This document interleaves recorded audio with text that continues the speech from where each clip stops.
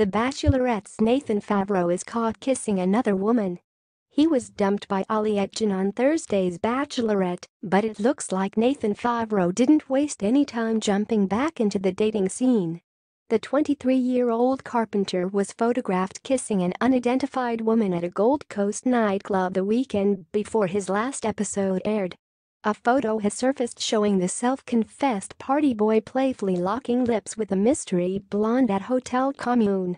Looking slightly worse for wear, Nathan wrapped an arm around the woman's shoulders while clutching a beverage in his other hand.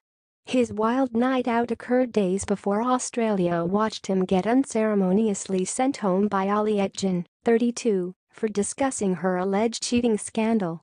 Back in May, Ali was publicly accused of infidelity by her ex-boyfriend Grant Kemp, who she met on Bachelor in Paradise last year.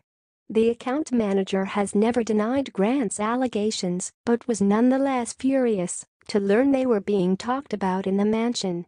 While dumping Nathan on Thursday's episode, Ali said, I have to be selfish, especially after what happened with Grant and I. There's no way anybody else will hurt me like that.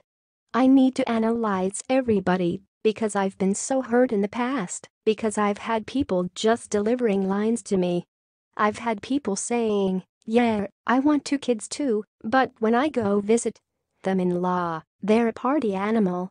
Meanwhile, a source told Daily Mail Australia on Thursday that Nathan has already been offered a spot on the upcoming season of Bachelor in Paradise.